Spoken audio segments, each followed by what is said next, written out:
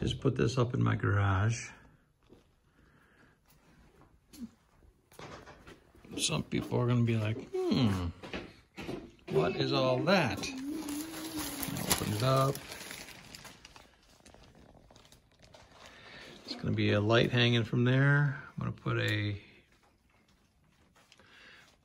uh, bowl of water for moisture. There's gonna be a heat lamp up there.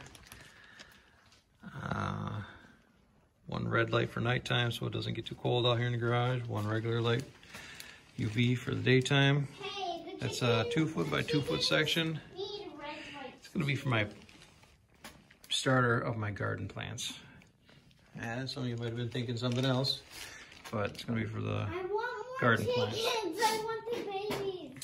Uh, according to, this is a two foot by almost, it's two foot by just over two foot.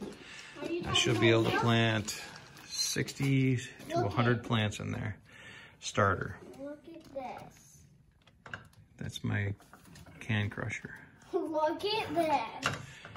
And I'll let you know what's going to happen with uh, the rest of it once I get it started or finished.